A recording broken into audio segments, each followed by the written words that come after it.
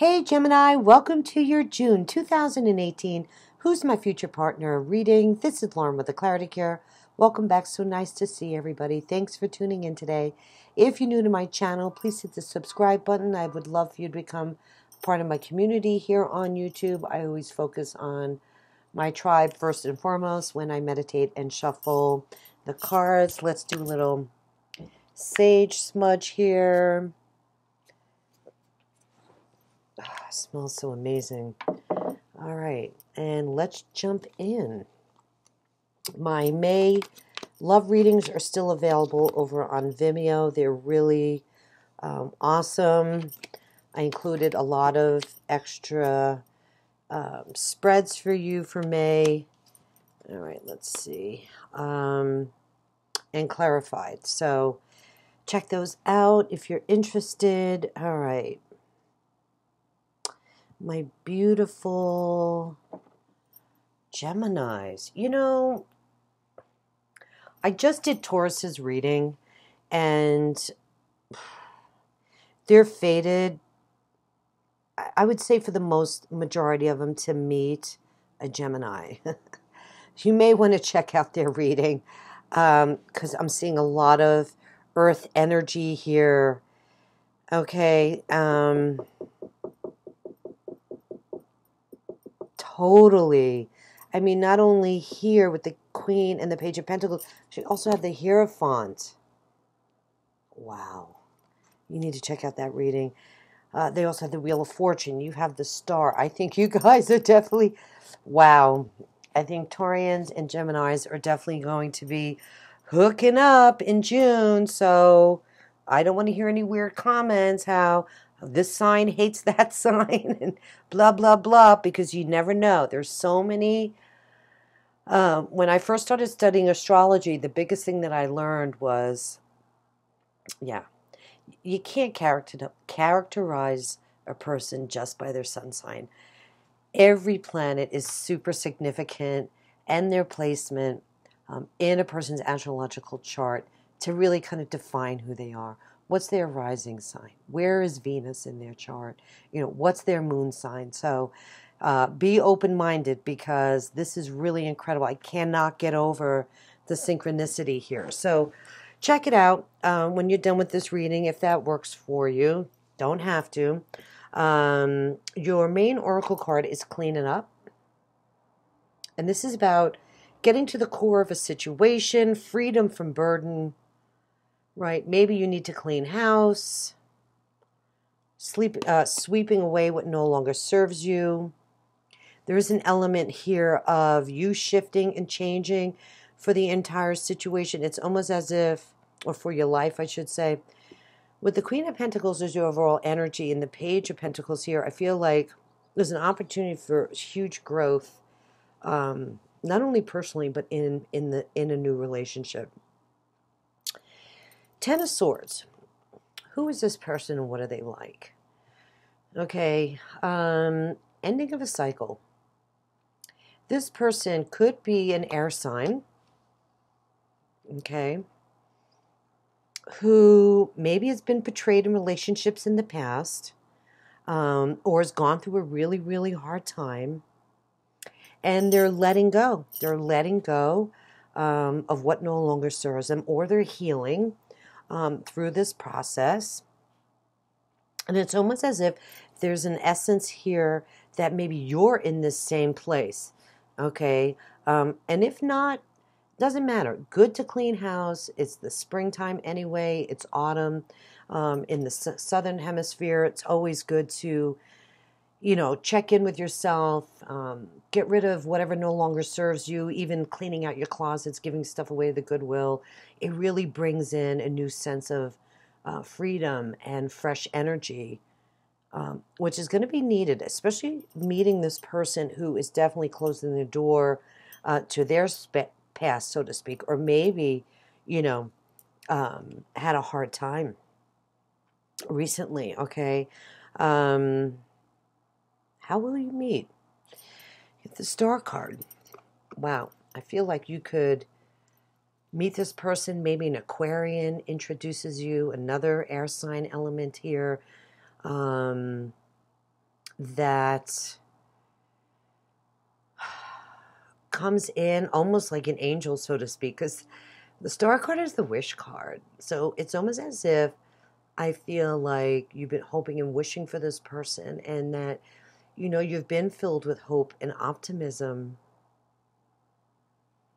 And, you know, overcoming struggles from your past, and now ready to to move forward in some kind of wish fulfillment. Okay. So one foot in front of the other, you know, one step at a time is the best way to shift and grow your energy by staying really grounded here. Um, because there's a plan. This person's going to bring you. You know, I'm also hearing that um, you're going to, you know, pay attention to your aha moments. You're going to have a certain revelation okay, as far as even what you really even want in a mate, okay? So stay connected to that that inner quality. Um, that you have, you know, where you're optimistic that, you know, I want to go with the flow here, but I know um, I need to replenish, right? And that's part of this energy here by cycling, um, having trust and faith, right? you can see in the star card how she uh, manipulates the water. I don't know if manipulates the right word, but she knows when she tips her hand and pours the water, more water is going to come, and then she can keep, right? Keep giving and receiving, giving and receiving. So stay optimistic, stay positive here. There's amazing new beginnings coming in. Okay, here we go again with this um, whole Taurian thing, okay, what is your first impression of this person? Okay, you've received the Hierophant, who is a hope, hope, pope like figure, um, represented here by like the high priest. So this person could be very conventional, this person could be very religious, um, this person could be searching for meaning in their life, right? Especially after some kind of betrayal, um, looking for their purpose, looking for their soulmate. But there's somebody that's really grounded. They're, they're grounded in this this Taurian energy, which I feel like you're being really asked to connect, right? Connect to the Queen of Pentacles here, that Mother Earth energy where you're being asked to balance, right? going back to this stuff, balance your family, nurture your family and your amazing successful career that you have. This is a very um, advanced high woman here. You know, she's coming in here to assist you, okay, to grow through this situation. So, Taurus, okay, religious person, somebody that knows how to honor their own traditions in their life.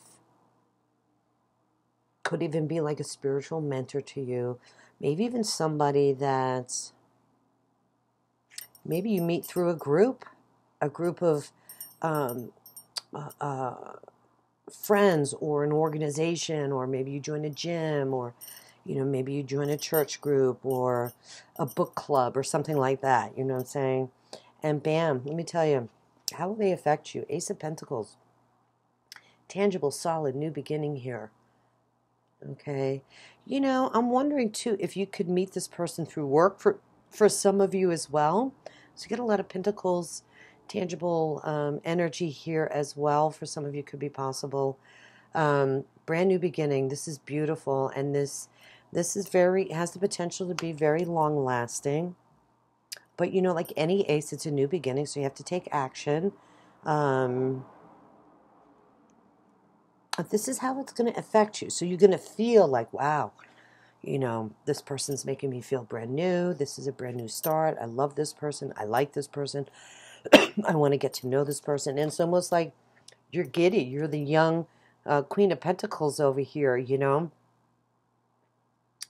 um, savoring your new beginnings, right? Feeling inspired and feeling like, you know what? Yeah, you know, I feel like I got the go ahead here. You know, and it's almost as if you're ready to manifest your dreams and your goals.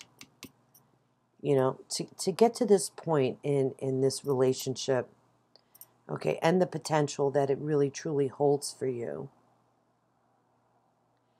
Um, Pentacle card's all about manifestation.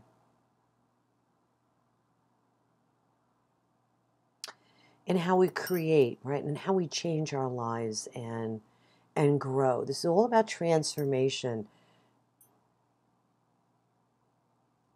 Now, don't take yourself too seriously. You have the Three of Cups here, okay, in your obstacles. So, you know, maybe you're just feeling like you don't want to be part of a community or you don't feel your relationships are harmonious or maybe you just need to get out and be a little bit more social especially if there's an opportunity here to meet this person. I still feel it's a Taurian. You definitely need to listen to the Taurian um, reading. There's definitely some significance here because I was telling them, you know, you need to get out. You know, if you have an opportunity to go somewhere, go. you know, um, you know, sometimes you just feel untied. You're like, I don't want to go out. I don't know.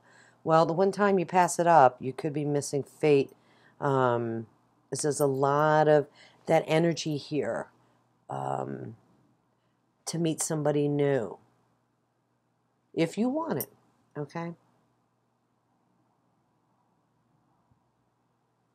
If this sounds like somebody that you would be attracted to, and who wouldn't be? I mean,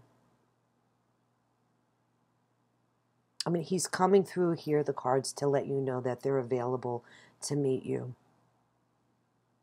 This, this is your fate. This is your destiny for June.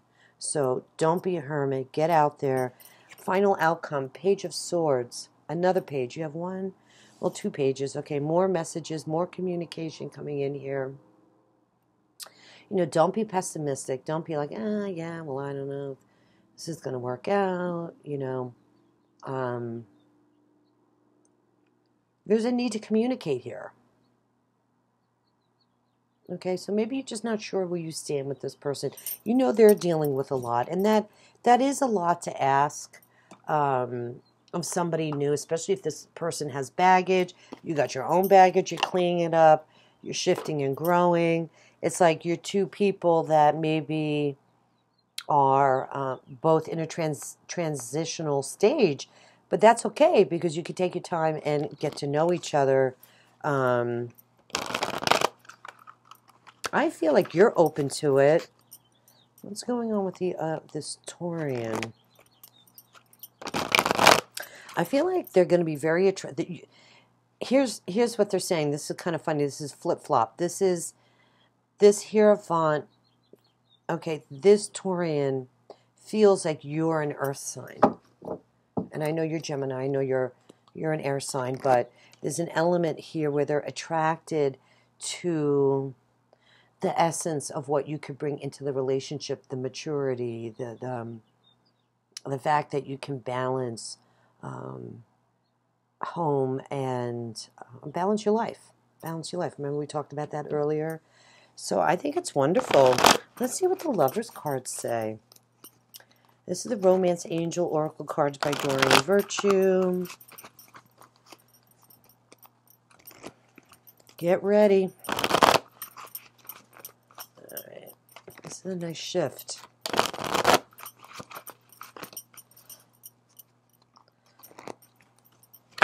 Oop. Kind of wanted to flip out, but didn't quite make it. All right. What is the Romance Angel Oracle message for our lovely Geminis for June 2018?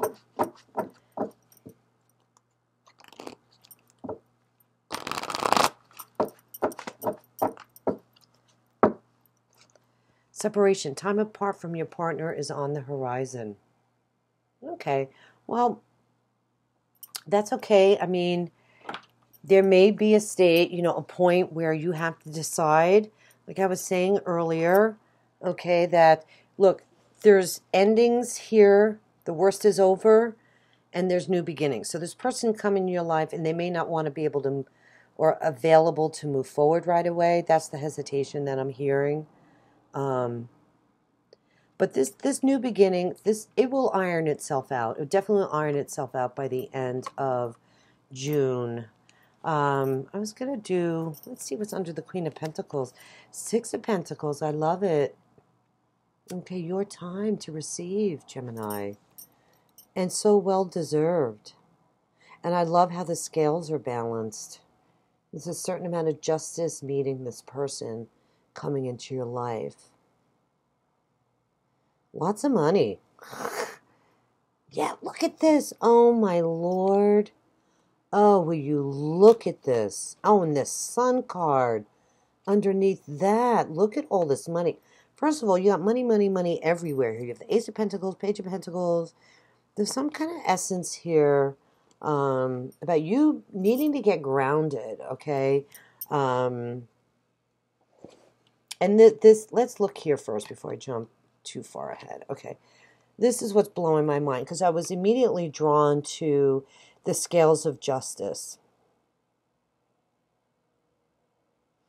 And I love the Six of Pentacles because that always tells me that justice is now being served. Okay, that you've done your part in the past, whether it was two days ago, five years ago, okay? It's your time now to receive. And what was right under that is is justice. So this is a double whammy. This is so positive. This is so amazing. There's karmic justice here as well for you. And look how the colors, the purple is kind of similar here. This is really amazing. Gemini, I love these cards. And you're going to reap what you sow. I keep hearing money. Like, I think this person's going to have money. They're going to be financially stable.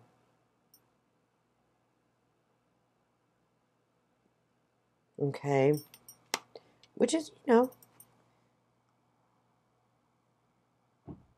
you know, it's funny. It's almost as if there's a certain element of this beautiful entrepreneurial um, energy of both of you together. However, I feel like this Hierophant is a little bit older and mature, maybe for you, more of a established relationship. However, I feel like there's some growth here between the two of you where you could really advance and grow as a couple and have a wonderful life together. But there's a certain sense of justice for you specifically, Gemini, that you deserve at this point in time in your life. And I love this energy. What else am I picking up here? Yeah, it's almost as if because now they're showing me the page of swords. Just don't see how the swords are. Oops, see how the swords are kind of raised. They both have their.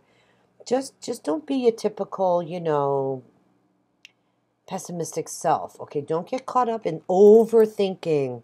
Okay, overthinking that it, it's not going to work out. Okay, um, yes, you can be on guard. You, you know, I don't blame you for wanting to protect your own interests, um, not really knowing maybe initially where you stand with this person because they have their baggage. However, give the person a chance because I think it's going to work out. And it's almost as if you are wanting to serve justice here for yourself. You know what I mean? Um, this is blowing my mind. This is, and look at the Ten of Pentacles underneath. This is complete family harmony. This is having it all. Okay, so there's a nice journey here for you through um, this relationship to to master what you want, get what you want, have family, legacy, marriage, pets, home, stability. It's beautiful. Very, very nice really blown away by that. And look, the sun underneath that, death and transformation. You both are going through a transformation. We talked about that earlier. Dude, this is a really cool reading.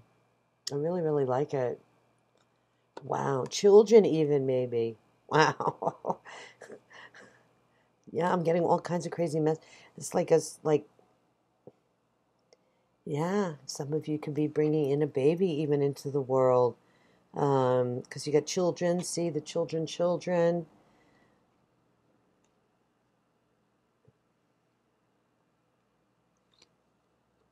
Amazing. Really incredible reading. Um, this was here. Let me see what else I'm picking up on here for you. Don't worry about the separation. It's going to be fine. Let's let's see what was on the bottom of the deck. Codependency, addictions are affecting your romantic life. Yeah, I don't know about that. I probably shouldn't even look there, but I just want to see if there's any other messages coming in for you. Gemini. I think that's really it. I mean, it's a really cool reading. Um, clean it up. Let me see what we got here. Um, yeah, ever feel like you're bogged down with emotional gunk that you can't think straight? Could you be surrounded by physical clutter? Talked about that earlier, feeling overwhelmed, time to clean house, get unpaid bills settled, make room for the miracles that are lining up for you. Yeah, they want you to get ready. They definitely want you to get ready to meet this person. Oh, fudge. I just spilt my, knocked my candle. Um, yeah. Wax went all over. I don't want it on my books. I'm so sorry. Gemini. Anyway, listen, I think it's a fabulous reading. You need to get ready to meet this person. They're coming. And there's a certain amount of destiny here. So um, take the time out, okay, to do what you need to do. Remember, I was saying that in earlier in the reading, okay, that you got you got to clean up your own stuff before you deal with anybody else with their stuff but I think it's kind of cool because I think you'll be able to relate to one another um, in, you know, coming together to meet to move forward um, as a couple. Okay, so, oh, sorry, Gemini, little, little all over the map here, but we're cool. We'll see you in July. God bless, and we'll talk to you soon. Bye bye.